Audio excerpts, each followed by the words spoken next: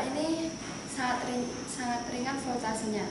Bisa kita lihat di sini 125 hanya 125 watt. Penggunaannya sama seperti mesin besar. Hasilnya pun juga oke. Selain digunakan untuk me- memarut kelapa, mesin ini bisa digunakan untuk memarut singkong, jahe, kunyit, dan temulawak, temulawak dan Hmm,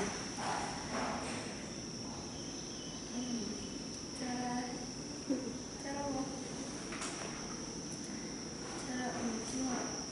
cara menggunakan mesin parut ini sangat simpel.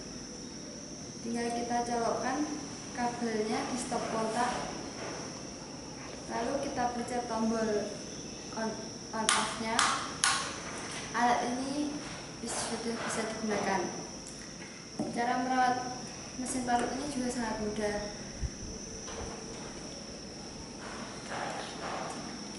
Cara merawat mesin parut ini juga sangat mudah. Hanya memakai kuas atau lap kering jangan menggunakan air.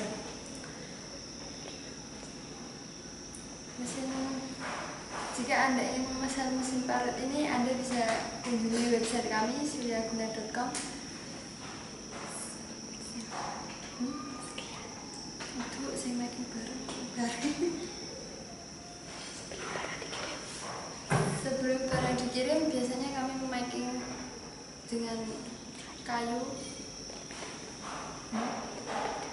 Hmm? Terlebih dahulu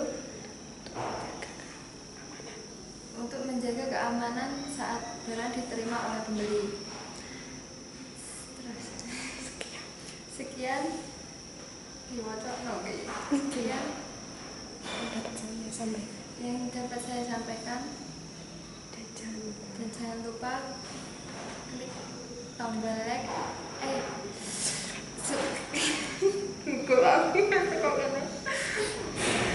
jangan lupa klik subscribe atau langganan di bawah ini. Terus. Terima kasih. Sekian video dari saya terima kasih